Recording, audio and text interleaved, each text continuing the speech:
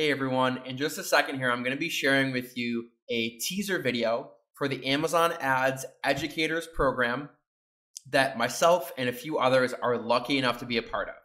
So, you know, we've teamed up with Amazon Ads and we'll be coming out with a lot more content to continue educating the community. So, without further ado, here's the video.